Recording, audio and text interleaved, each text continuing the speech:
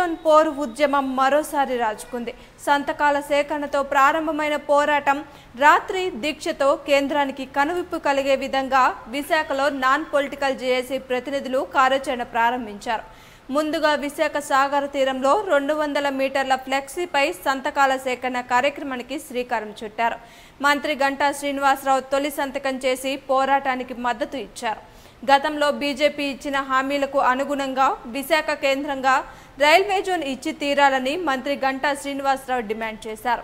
పార్టీలకు అతీతంగా non political JAC చేస్తున్న ఉద్యమాలు ప్రజల్లోకి విస్తృత స్థాయిలో ప్రచారం చేయాల్సిన అవసరం ఉందని ఇంకా కేంద్రం నాన్పుడి ధోరణి అనుసరిస్తే మాత్రం సహించేది లేదని అన్నారు. పదిహేడున విశాఖ రైల్వే జోన్ వద్ద చేపట్టే రాత్రి దీక్షకు ప్రజలు మద్దతు తెలపాలని కోరారు. మూడు దశాబ్దాల కళా కోరిక ఈ విశాఖ రైల్వే జోన్ సంబంధించి నాన్ పొలిటికల్ జేఏసీ గత కొద్ది రోజులుగా కూడా చేస్తున్న పోరాటం మనం చూస్తూ ఉన్నాం. అందులో భాగంగా ఇప్పటికే రౌండ్ టేబుల్ మీటింగ్స్ కానీ అలాగే కాగడాల ప్రదర్శన కానీ మరి ఈరోజు నాకు తెలిసిన వరకు ఇది ఒక అతిపెద్ద సిగ్నేచర్స్ క్యాంపెయిన్ ప్రోగ్రాం దాదాపు రెండు వందల అడుగులు పైగా మొత్తం ఇక్కడ ఇది బ్యానర్ ఏర్పాటు చేసి విశాఖ ప్రజల యొక్క మనోవేష్టం ఎలాగుందో సిగ్నేచర్స్ ద్వారా కేంద్ర ప్రభుత్వాన్ని తెలియజేసే ప్రయత్నం ఇది. ఈరోజు ఉదయం ఇక్కడ బీచ్లో ఇది స్టార్ట్ చేయడం జరిగింది. దీనికి మనస్ఫూర్తిగా నాన్ పొలిటికల్ జేఏసీని అభినందిస్తా ఉన్నాను మరి మనం గతంలో కూడా చాలాసార్లు మాట్లాడుకున్నాం. ఏదైతే విశాఖ రైల్వే జోన్ అనేది తెన్నేటి విశ్వనాథ్ గారి దగ్గర నుంచి ఎంతోమంది నాయకులు అలాగే సంఘాలు అలాగే యూనియన్స్ ఇవన్నీ కూడా పోరాటం చేశాయి.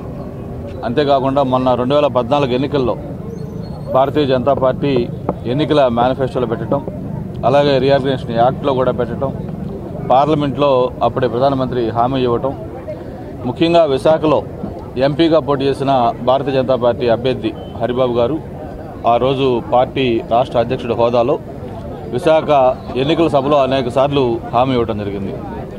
వైజాగ్లో ప్రధానమంత్రి నరేంద్ర మోడీ గారు అలాగే చంద్రబాబు నాయుడు గారు పవన్ కళ్యాణ్ గారు ముగ్గురు కూడా ఎన్నికల సభలో పాల్గొన్నప్పుడు ఈ విశాఖ రైల్వే జోన్ గురించి కూడా చెప్పడం జరిగింది. ఒక టూ ఇయర్స్ ప్రభుత్వం ఏర్పడిన తర్వాత రైల్వే మంత్రి విశాఖ వచ్చి ఎంపీ హరిబాబు గారి సక్సెస్ అంతా కూడా ఒక బహిరంగ సభ పెట్టినప్పుడు ఆ సభలో అనౌన్స్ చేస్తారని చెప్పి కూడా మనం ఆశించాం.